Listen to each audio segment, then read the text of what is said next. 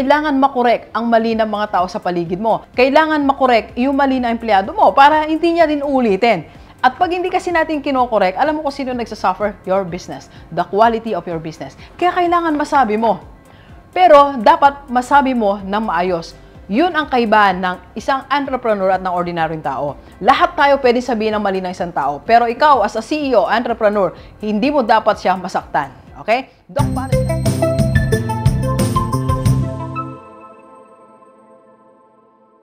Alright, Positive Day Believers. This is Dr. Gigi Disunga from Rockstar Technologies Incorporated, Rockstar Management and Consultancy, and of course, Rockstar Beauty Corporation operating under Reveal Beauty and Cosmetics. Magandang hapon sa lahat ng mga G-Livers natin.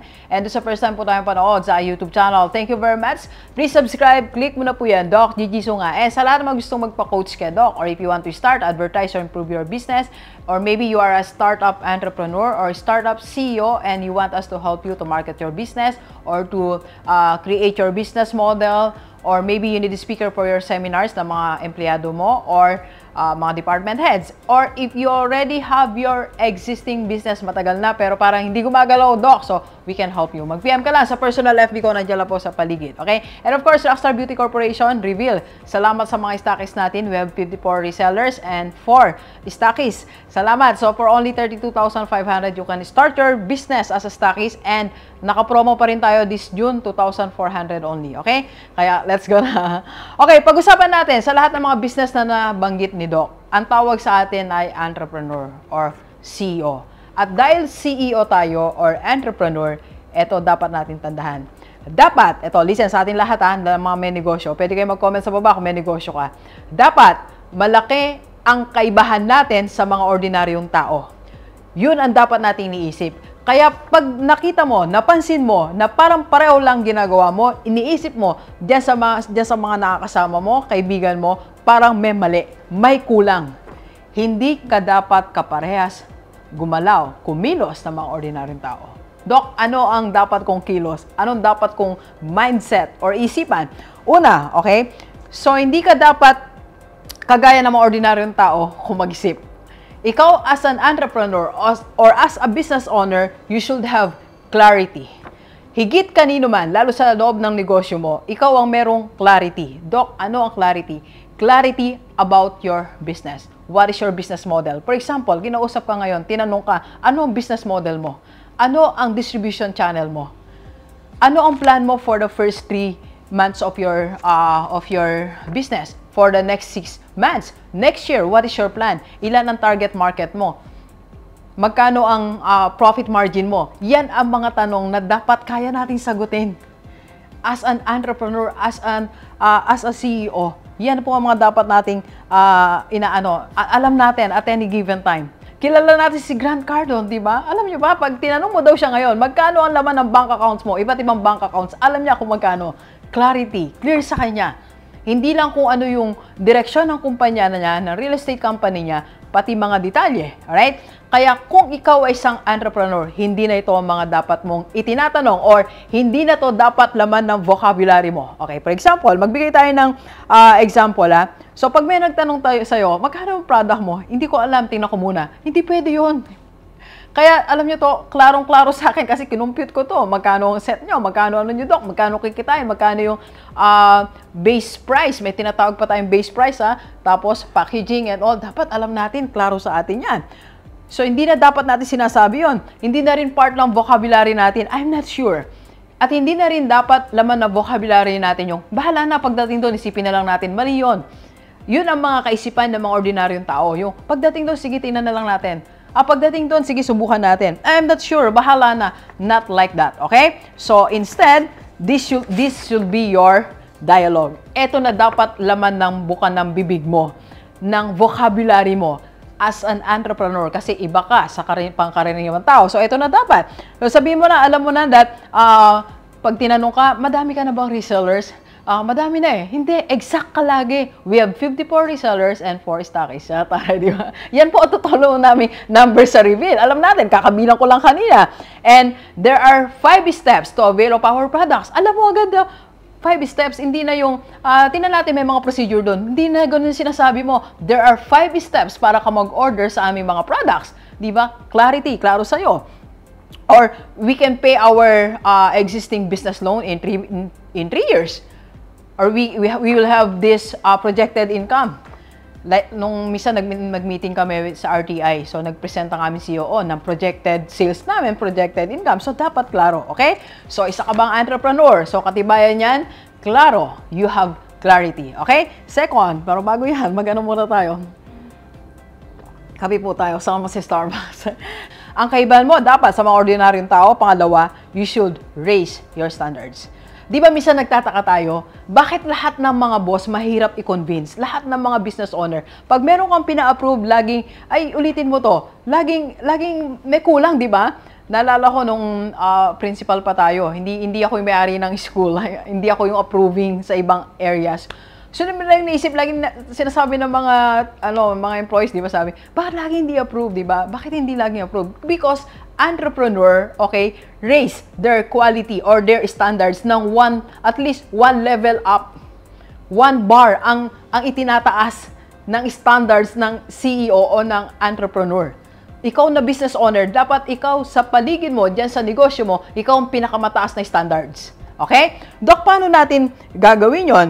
Ito, tip lang. So, paano natin magagawa? Always apply the rule of three. Dok, ano yung rule of three? Tinan mo yung isinabit sa'yo.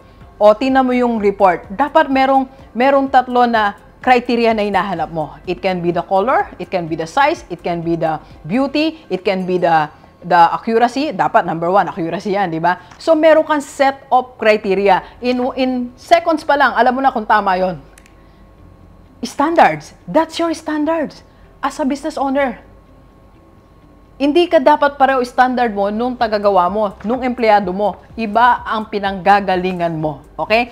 Kaya huwag kang mag-hesitate pag sinabi mo, pwedeng paki ano, paki paki-revise, 'di ba? O yung tagagawa ko ng poster, alam niya na 'yon, 'di ba? Alam niya na agad, open siya na may may may ano, may correction, 'di ba? So, so explain natin sa mga empleyado natin, okay? Raise your standards because hindi ka kapareho dapat nila, okay? And number three po, kape po tayo. Number three, ano dapat kaibahan mo sa mga ordinaryong tao? Okay, you apply the rule of diplomacy. Doc, ano ang diplomacy? Ang diplomacy po, marami ang meeting, meaning sa pagtininan natin sa, sa Google, di ba? Pero for me, diplomacy is correcting someone without hurting his or her emotion or feelings. Kasi dalawang bagay po yan. Kailangan makorek ang mali ng mga tao sa paligid mo. Kailangan makorek yung mali ng empleyado mo para hindi niya din ulitin. At pag hindi kasi natin kinokorek, alam mo kung sino nagsasuffer? Your business. The quality of your business. Kaya kailangan masabi mo. Pero dapat masabi mo ng maayos. Yun ang kaibahan ng isang entrepreneur at ng ordinaryong tao. Lahat tayo pwede sabihin ng mali ng isang tao. Pero ikaw as a CEO, entrepreneur, hindi mo dapat siya masaktan. Okay? Doc, paano sinasabi? Halimbawa, meron kang isang empleyado na panay late na wala.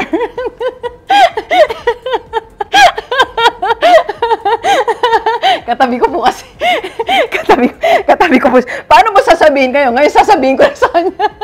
Without hurting his feelings, okay? So sasabihin natin, halimbawa, yun nga po, merong, merong, merong kang isang, uh, isang empleyado na magaling. Pero lagi siya nalilate, okay? So, wag tayong mag-focus dun sa nalilate niya because that's the behavior. Ang atake mo dapat dun sa benefit ng pagdating niya earlier. For example, ganito. Sabi mo lang ganito, uh, meron tayong, meron tayong uh, uh, dapat i-follow up mga 50 clients.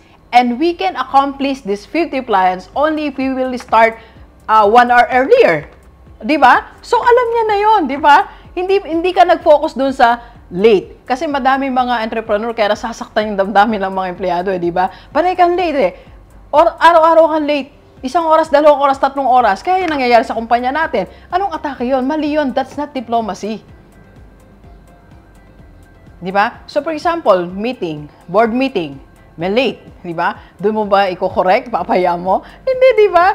Pwede mo siyang kausapin afterwards diplomacy. You can correct people without hurting their feelings. Dapat alam mo kung paano ginagawa yan. Because this is an skill. Skill po yan. Ako hanggang ngayon, minamaster ko pa rin yan. Inaaral ko pa din. Baka minsan, sabi ko nga, lagi sinasabi dito sa mga sa mga team ko, pag misan baka nakakasakit ako ha, misan di na ako aware. Kasi misan, you know, yung mga nagagawa tayo, nasasabi tayo. Kasi itong diplomacy na to, ini-improve natin yan every day as an entrepreneur. Okay? Okay, number four, make sure you can articulate the vision of your company to the people around you. Kaya mo dapat i-communicate, this is our vision. For example, sa reveal, ang vision ko dito, short-term vision natin, uh, right now, uh, this year, magkaroon kami ng 50 50 stockies all over the Philippines, lalo sa mga provinces. Yan ang target ko. So, dapat ma-communicate ko yan sa, sa lahat ng mga may kinalaman sa reveal. So, you have to articulate. Ibig sabihin, communicate the vision of your company to everyone. Dapat alam mo, explain yon from your heart. Lumalabas yung vision ng yung company. Eh pag hindi mo alam yon, pag wala kang vision, wala kang i-articulate, di ba? Wala kang i-communicate. Kaya napakalaga niyan. And last po, number five. Okay? Do not be too attached to these things. One, okay, to events, failure, and to people. Kung nag-fail kayo last week, huwag ka masyadong attached. Nag-fail, what is the lesson? Then move on. Pero wala siya, okay? Or maybe, uh, sa mga sa mga ano sa, sa mga tao kung may nag-resign you ask why then kung may kinalaman ng company improve then let go and hire other people don't be too attached emotionally sa mga tao. Di ba, minsan pag meron kang empleyadong nawala, kala mo, na, na, ano, ano na mangyayari, end of the world na na company mo? Hindi. Ako, naging ano ko yon welcome lahat. Kung mag-resign ka, tanungin lang kita, bakit? Pipigilan kitang konti.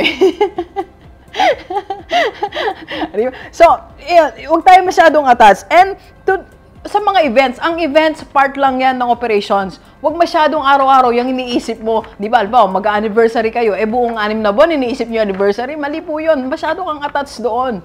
Alright? So, dapat wag mong kalimutan ang target, ang sales. Okay? Yan ang sikreto. Alright? So, sa atin pong lahat, so sana nakatulong ang ating vlog sa lahat ng mga entrepreneur. Tandaan natin, meron tayong kaibahan. Dapat malaking kaibahan natin sa mga ordinaryong tao because you are running a business. Okay? Ikaw ang pilot niyan, ikaw ang master ng negosyo na yan. Okay? Maraming salamat. And please share this video sa lahat ng maibigan natin, kahit OFW o dito sa Pilipinas, para sama-sama tayo mabago tumula dating buhay. Thank you very much, Gilivers. Enjoy the rest of the day. Yan. Let's go, let's go. Thank you po. Kapi po tayo, delivers. Gabi na po.